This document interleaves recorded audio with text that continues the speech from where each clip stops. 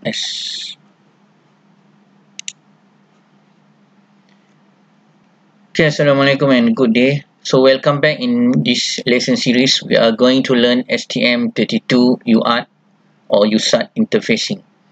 So this, this UART interfacing series can be divided into four videos.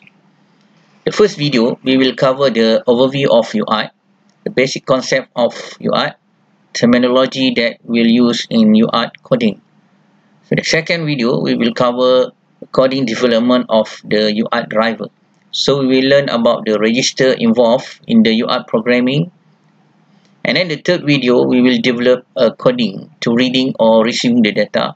And then the last video, the fourth video, we will learn two-way UART coding. That is to transmit and uh, receiving data.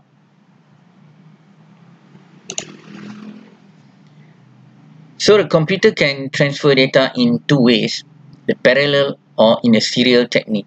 So in parallel, data transfer can be eight or more lines or wires are used to transfer data to another device. So in serial communications, the data is sent one bit at a time. So in the past, the parallel data transfer was preferred for short distance because it may transfer more bits at a short amount of time. So as the technology advances, the data rate of serial communication sometimes exceed the parallel communication while parallel communication still remain the disadvantage of the size and cost of cable and connector. So the crosstalk between the data line and the difficulty of synchronizing of the arrival time of the data time at a longer distance also still existed in the parallel communication. Okay, there are two main protocols in serial communication. So that is the asynchronous and synchronous communications. So the difference is the clock. In asynchronous, in asynchronous communication, we don't need a clock signal between transmitter and receiver. But in synchronous, there is need and share the clock signals between transmitter and receiver in order to synchronize the data transfers. In this video, we only focus on the asynchronous transmission.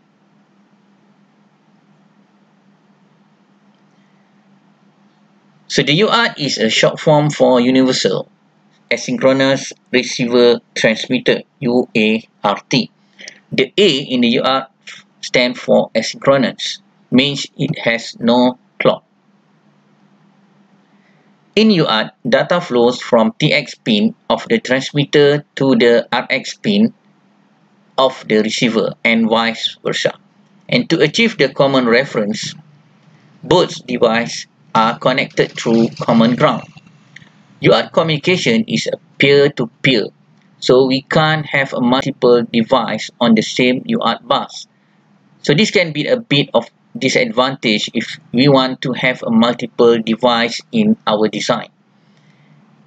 So if there is no clock or any other timing signals, then how the receiver know when to read the data? or in other words, how UART synchronize the communications between transmitter and receiver.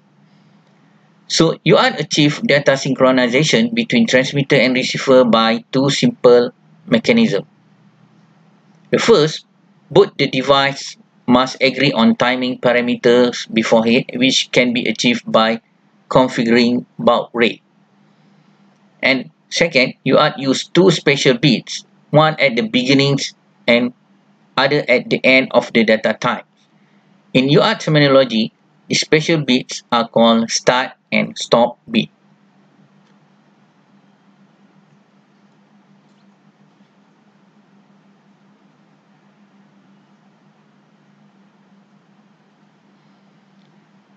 Asynchronous serial data communication like UART is widely used for character orientation transmission. In the asynchronous method, each character such as ASCII character is part between start and stop bit. This is called framing. The start bit is always one bit, but the stop bit can be one or two bits. The start bit is always zero, and the stop bit is indicating by 1.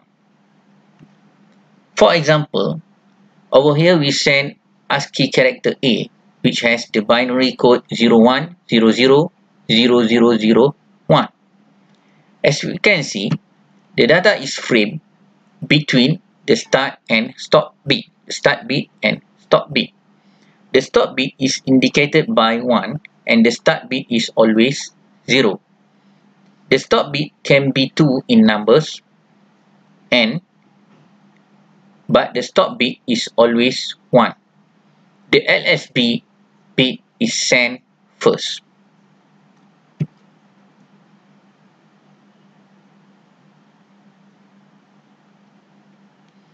Baud rate. Baud rate is a rate of data transfer in serial communication and it is expressed in bit per second.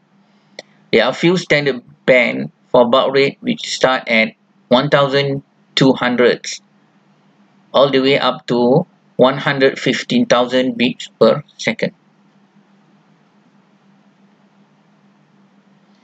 Some advantage and disadvantage of UART communications.